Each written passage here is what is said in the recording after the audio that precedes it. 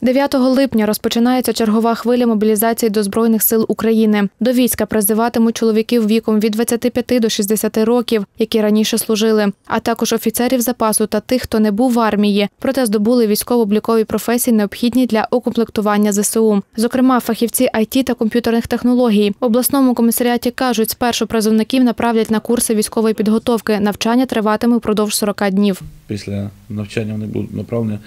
Е, Це до 128 гірсько-піхотна бригада, яка дислокується містом Мукачево, Закарпаття, 24-та механізована бригада, яка дислокується місто Яворів Львівської області, 14-та бригада, яка дислокується в місті Володимир-Волинськ, і 53-я бригада, яка дислокується на 233-му Рівненському полігоні.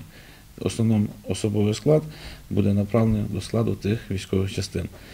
А вже в складі цих військових частин, коли прийдуть бойове злагодження, тоді особовий склад буде вже направлений в зону АТО.